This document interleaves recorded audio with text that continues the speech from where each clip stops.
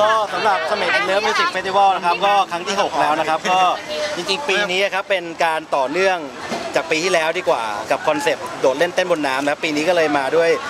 นะครับ concept six pack แน่นเน้นๆนะครับเพราะว่าเราอยากให้ทุกคนหลังจากปีที่แล้วเนี่ยโอ้โหมาโดดเล่นกันแล้วปีนี้ก็คงแบบมา firm ร่างกายกันนะครับมาย้ำอีกทีแบบว่าเราก็อยากให้เห็นหนุ่มๆโชว์ six pack มากันเท่ๆนะครับสาวๆใส่บิกินี่สวยๆนะครับมาเต็มงานมาเต้นกันกับศิลปินแบบสุดมันนะครับ 12 ชั่วโมง นะครับบนเกาะเสม็ดฮะความแตกต่างนะคะของปีที่แล้วกับปีนี้เป็นยังไงบ้าง ก็จริง ๆ แล้วผมว่าความมันมันขยับขึ้นทุกปีอะนะครับปีที่แล้วเนี่ยผมว่าโอ้โหบัตรโซเอาตั้งแต่แบบเดือนหนึ่งก่อนจัดงานนะครับ ปีนี้ผมว่าก็บัตรก็เหลือน้อยพอๆกันนะครับ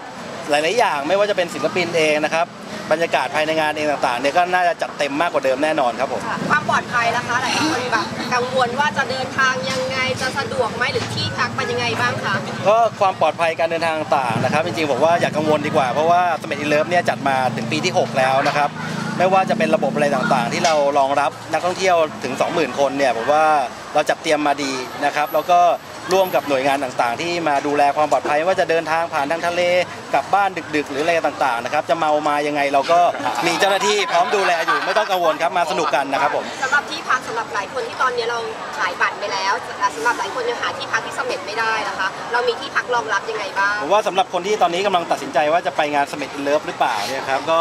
อาจจะลำบากใจนิดนึงกับว่าที่พักที่แบบว่าหาได้น้อยมาก แล้วตอนนี้แทบจะเต็มทั้งเกาะแล้วนะครับ ก็อย่ากังวลครับ เพราะว่าวันงานเนี่ยเรามีเรือ 24 ชั่วโมงอยู่แล้วนะครับในการอำนวยความสะดวกเนี่ยแล้วที่พักบนฝั่งระยองเองเนี่ยก็ราคาถูกกว่า แล้วก็มีตลอดนะครับ ผมว่ามากันดีกว่าครับมาสนุกกันเพราะจริงงานก็มีถึงเกือบเช้าอยู่แล้วนะฮะใครที่แบบว่าขาปาร์ตี้หน่อยก็มาสนุกกันยันเช้าครับเราค่อยกลับบ้านดีกว่าครับน้องมายเป็นเจ้าถิ่นดีกว่า ทุกปีที่แบบเล่นคอนเสิร์ตครั้งนี้ความประทับใจสำหรับ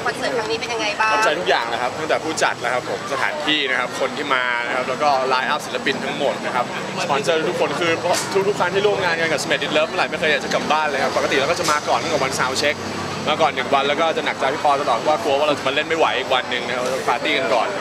แต่ว่าแต่ว่าคราวนี้ก็รู้สึกว่าแน่นอนความความความพร้อมมันก็มีมากขึ้นทุกปีนะครับผมแล้วก็ปีนี้ก็ความสุขมันก็ทวีคูณขึ้นไปคราวนี้มันครั้งที่ 6 แล้วเราจะคูณ6เข้าไปครับซิกแพคก็แน่น ความสนุกก็แน่นคนก็แน่นครับแล้วปีนี้โมบายจะแน่นไหมคะซิกแพคพูดถึงอะไรดีครับซิกแพคอ๋อซิกแพคซิกแพควงเราวงเราถนัดอย่างอื่นแล้วเป็น big pack ดีกว่าอ๋อเออไปช่วยนักท่องเที่ยวกันนะอ่าน้องโบสนิทคะครับต้องถามก่อนเลยว่าเตรียมความพร้อมขนาดไหนสำหรับคอนเสิร์ตครั้งนี้ ตอนนี้เราเรา ปีที่แล้วเราไปเล่นมาครั้งแรก แล้วเรารู้สึกว่ามันเป็นเวทีที่ท้าทายครับผมก็หนึ่งคือด้วยจำนวนสเกลงานที่ใหญ่มากๆ แล้วก็ความเป็น music festival ที่มันมันขับเคลื่อนไปเนี่ยครับพลังงาน ที่มันแลกเปลี่ยนระหว่างคนดูกับกับศิลปินมันต้องมันต้องเยอะตามไปด้วย แล้วก็ตอนนี้คือผมรู้สึกเลยว่าเสร็จครั้งแรกผมผมบอกกับทุกคนในวงเลยว่าจะมาสมัยดีเลยเขาวหน้าเราต้องฟิตกว่านี้ ซึ่งมันน่าจะเป็นอย่างนั้นครับพี่แหลมนะคะ เตรียมความพร้อมสำหรับฟิตครั้งนี้แบบแต่ละวงเขาก็เต็มที่นะของครับวผงมเราอะผมจำได้ดีครับเมื่อผมไปเล่นครั้งแรกคือครั้งที่2มั้งครับของ s 1 in Love นะครับจำได้ภาพที่ยังติดตาคือพี่ติ๊กชิโร่โดดลงไป ในทะเลฮะเพราะเมื่อไหร่วะจริงมันเป็นภาพที่ผมยังติดตาจนถึงทุกวันนี้นะครับ มันผ่านไปนานมาก มันดีมากครับก็ปีนี้ผมอาจจะโดดบ้างต้องโดดบ้างแล้วครับแล้วก็ผมไม่แปลกใจเลยว่าทำไมต้องเป็นซิกแพคเพราะว่าร่างกายต้องพร้อมมากสำหรับคอนเสิร์ตนี้ เพราะว่าคุณต้องเต้นแล้วก็โดดบนทรายมันความเหนื่อยมันทวีคูณอะเพราะฉะนั้นคุณต้องพร้อมตั้งแต่ขา ยันท้อง เอาให้ดีนะพี่ครับอ่าบูมแคทบ้างเลยค่ะที่เราเป็นผู้หญิงคนเดียวเราตั้งรับหนุ่มๆยังไงบ้างคะความพร้อมขนาดไหนบ้างอ๋อ ถ้าเรื่องความฟิตก็คงจะต้องนอนไปเยอะๆ มากๆเลยค่ะ แล้วก็แหมงานนี้ก็ตีมแบบซิกแพคเนาะ แต่อาจจะมีซิกแพคผู้หญิงด้วย ไม่ใช่แค่ผู้ชายอย่างเดียว ผู้หญิงก็มีได้เหมือนกันเนาะ ก็ใครๆก็หุ่นดีก็มาโชว์หุ่นกัน มาออกกำลังกายกันนะคะ อ่าพี่เป้คะต้องบอกเลยว่าต้องเตรียมพร้อมยังไงในในฐานะที่เป็นเจ้าถิ่นทุกปีเลยที่เล่นมาเจ้าถิ่น สาวๆหนุ่มๆอะต้องเตรียมความพร้อมขนาดไหนคะแต่ในบ้านนะครับผมผมอ่าวงไม้จากเสม็ดนะครับผม ก็เป็นว่าก็ก็ขอให้ทุกคนเตรียมตัวแล้วกัน 12 ชั่วโมงที่มีแต่ความสนุกสนานนะครับ มีแต่ความเพลิดเพลินนะครับก็ขอให้ทุกคนเตรียมร่างกายไปพร้อม เตรียมจิตใจไปพร้อม เตรียม ทุกอย่างไม่พร้อมก็จะเป็นเพื่อนฝูงที่พากันไปนะครับก็ดูแลกันให้ดีๆแล้วกันแล้วก็ 12 ชั่วโมงนี้ขอให้เป็น 12 ชั่วโมงที่มีแต่ความสุขนะครับแล้วก็อยู่กันให้ครบแล้วกัน 12 ชั่วโมงนี้ไม่มีอะไรน่าจะ เรียกว่าไม่น่าจะมีอะไรที่น่าพลาดสักอย่างเลยแหละ อยู่ให้ครบ อยู่ให้เกินแล้วกันนะครับ ผมขอให้ความสนุกอยู่กับพวกคุณครับ แล้วสมัยดินเลิฟจะทำพวกคุณประทับใจอีกครั้งหนึ่งครับพี่ปอคะหลายคนกลัวถึงการคืนนิดกินนิ่งสู่หาดเพราะว่าเราไปจัดคอนเสิร์ตที่นั่นแล้ว เราจะมีการดูแลหาดเรายังไงบ้างคะพี่ปอจริงๆเกี่ยวกับเรื่องการรักษาความสะอาดนะครับกับงานเสม็ดเนี่ยเราก็คำนึงอยู่แล้วเพราะว่าเกาะเสม็ดนี่ก็เป็นสถานที่ท่องเที่ยวอันดับต้นๆของประเทศนะฮะเราไปจัดงานเราคนไป 20,000กว่าคนเนี่ยก็อาจจะมีขยะบ้างวันงานก็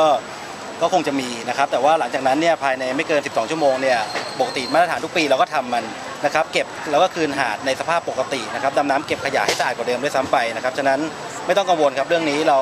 รักษาสิ่งแวดล้อมแน่นอนครับอะพี่ปอฝากถึงงานนิดนึงค่ะ การดูแลความปลอดภัยมีเรือ 24 ชั่วโมงยังไงบ้างและบัตรโซเอาหรือยังไงบ้างครับครับผมว่าก็สำหรับสมั e อินเลิฟนะครับใครที่เคยมาแล้วเนี่ยก็คงจะบอกได้ว่าโอ้โหบรรยากาศเป็นยังไง นะครับแต่ใครที่ไม่เคยมาดีกว่าก็อยากจะเชิญชวนนะครับ แล้วก็สำหรับทีมปีนี้ซิกแพคเนี่ยไม่ต้องกังวลครับถึงไม่มีซิกแพคก็มาเดี๋ยวสร้างซิกแพคกลับไปเนี่ยมีซิกแพคทุกคนแน่นอนนะครับเพราะว่าคงเป็นเรื่องการเน้นย้ำดีกว่าว่า 12 ชั่วโมงตลอดเนี่ยความมันเนี่ยคุณก็ฟิตร่างกายมาดีๆ แล้วก็มาสนุกกันนะครับตอนนี้เนี่ยบัตรก็ค่อนข้างเหลือน้อยแล้วเหลือไม่ถึง 5,000 ใบทางไทยทิคเก็ตนะครับก็อยากให้รีบนิดนึงเพราะว่าช้าแล้วคุณจะ ไปคุยกับคนอื่นไม่รู้เรื่องนะครับ แล้วก็มากันครับนะฮะวันที่ 6 เดือน 6 มาเจอกันนะครับเสม็ด in love 6ครับผม ค่ะโซโลคะฝากเชิญชวนนิดนึงค่ะ ให้คนมาที่นี่ค่ะอะโลโมไปครับผม ชวน ก็อยากจะเชิญชวน เชิญชวนทุกคนครับผมอ่าทะเลกับดนตรีมันมันไปด้วยกันได้แล้วอ่าพวกเราอาจจะ แตกต่างนิดนึงแล้วเป็นเพลงร็อกก็รู้สึกว่ามันยิ่งมันยิ่งน่าสนใจขึ้นไปใหญ่ก็ มันเป็นเรื่องราวของวัยรุ่นครับผมอ่าก็ถ้าอยากแก่ก็อยู่บ้านนะครับผมอยากวัยรุ่นอ่าวัยรุ่นไม่อยู่ที่ตัวเลขครับผมวัยรุ่นอยู่ที่การใช้ชีวิตครับผมคนจริงต้องไปจริงต้องไปครับผมจริงต้องไปนะครับโอเคนะคะมีอะไรคะโอเคนะ ใครจะสัมภาษณ์วงอะไรบอกมา